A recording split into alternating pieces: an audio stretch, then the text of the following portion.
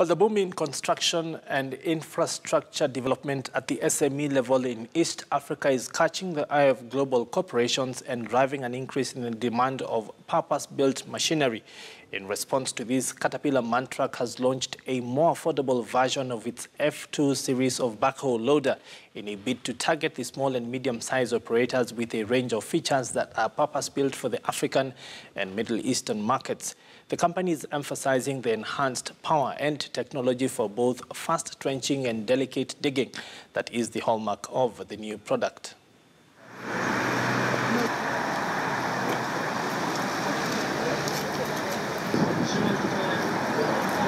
you know, the quality is already there.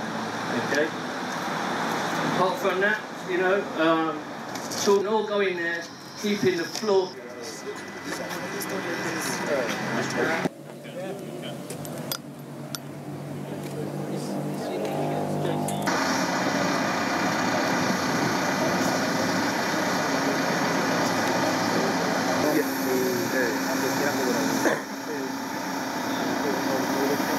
The machine is equipped with superior breakout forces.